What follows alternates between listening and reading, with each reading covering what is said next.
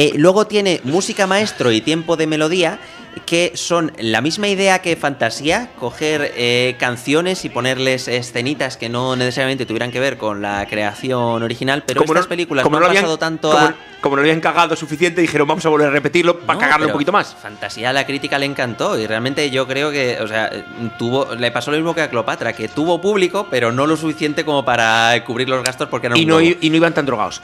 Bien, pues música maestro y tiempo de melodía, sin embargo, al contrario que Fantasía, no han pasado a, a la historia porque no hacían canciones clásicas, sino que hacían canciones pues de jazz de la época o pues sketches y demás, no sé cómo, cómo decirte. Me parece muy bien. Más populares, que en la época fueron más populares, porque mm, en el póster ponía, oye, aquí vas a ver la canción de tal que estás escuchando por la radio todo el rato. Pues Vamos, que como no eran canciones eh, clásicas, eh, no ha trascendido porque no era gran arte, sino que era arte pequeño. no porque fuera arte pequeño, sino porque no había pasado el suficiente tiempo como para que fueran eh, reconocibles. ¿sabes O sea, cinco quiero siglos más o menos, por ejemplo, ¿no? Efectivamente, Vale, la música. correcto. Estamos Pero- hablando de renacimiento, claro. eso es lo que pasaba, eso le pasaba al público americano y a la- al Ayuntamiento de Madrid eh, actualmente.